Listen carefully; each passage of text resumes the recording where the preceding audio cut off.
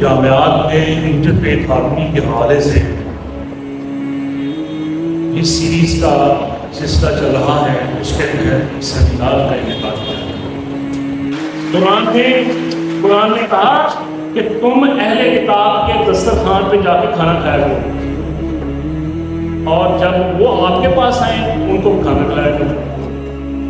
और कुरान ने ये भी कहा कि अहले किताब की औरतों से, मुसलमानों से कहा कि आप शादी भी कर सकते हैं। इस्लाम तो रवादारी का नंबरदार है।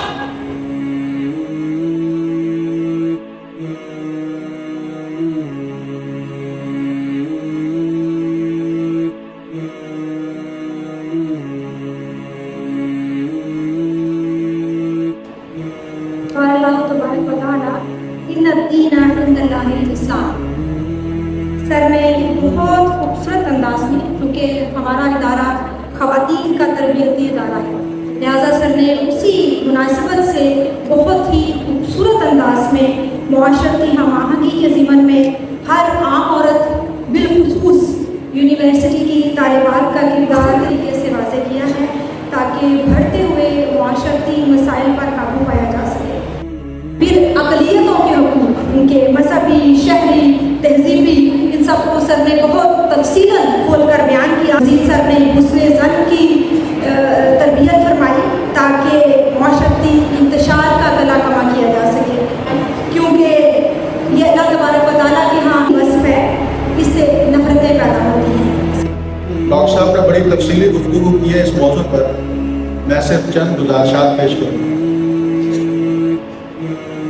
कोई भी समाज, चाहे वो एशिया का समाज है, यूरोप का है या अमेरिका का समाज है, उस समाज की बुनियादी अकाई खानदान कल वो अपनी पेशा है।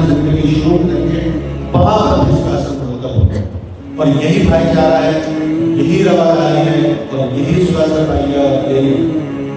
हायर एजुकेशन कमीशन ने पाकिस्तान की ख़ास तौर पर पंजाब की यूनिवर्सिटीज़ में जामियात में एक इंटरफेथ हारमनी के हवाले से सीरीज़ शुरू की है। जिसका अ, बुनियादी मकसद ये है कि यूनिवर्सिटीज़ ने माशरे की तामीर में ख़ास तौर पर अमन और रवादारी के फ़रोग में क्या किरदार अदा करना है। बच्चों को नज़रियाती तौर पर, फिक्री तौर पर एक शूर दिलाना मकसूद है कि वो भी माशरे में रियासत की तमीर में अपना किरदार अदा करें। यूनिवर्सिटीज़ के जो इस हैं और यूनिवर्सिटीज़ के जो एम फिल और पी एच डी के स्टूडेंट्स हैं, उनकी हमें इन्वालमेंट उस तरह नज़र नहीं आती।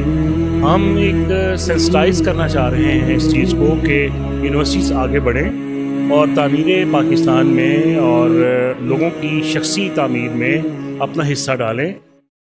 बात यह है कि जैसे मैंने अपनी गुफ्तु में भी कहा कि इस्लाम जो है वो सफ़ाई को निसफ ईमान करार देता है और अतहर शत्रु ईमान करार देता है। लेकिन हमें ये नहीं पता कि ये सफ़ाई कहाँ और किसने करनी है। ये किसने तकसीम कर रखी है कि गलियाँ उन्होंने सिर्फ़ उन्होंने साफ़ करनी है। ये बाज़ार उन्होंने साफ़ करने हैं, ये गटर उन्होंने साफ़ करने हैं। ये मैं और आप क्यों नहीं करते? हमने समाज में ये शोर भी बेदार करना है कि ठीक है, अगर वो सर्विस दे रहे हैं, जितनी वो सर्विस दे रहे हैं, उतनी ही उनका एहतराम किया जाए, उतनी ही उनको इज़्ज़त दी जाए, उनको उतनी ही रिस्पेक्ट दी जाए। उनके दस्तरखान पे हम जाएँ खाना खाने के लिए और वो हमारे दस्तरखान पे आके खाना खाएँ और कुरान का ये असूल है और हदायत और तालीम है।